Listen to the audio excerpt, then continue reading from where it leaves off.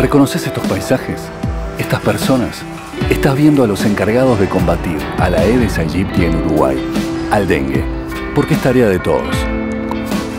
Con repelente y mosquiteros, sí, pero la mejor forma de combatirlo es que no haya mosquito, que no nazca. Da vuelta a baldes, macetas, lo que sea. Lo tienen que hacer él, ella, ellos, y lo tenemos que hacer por él, por ella, por ellos.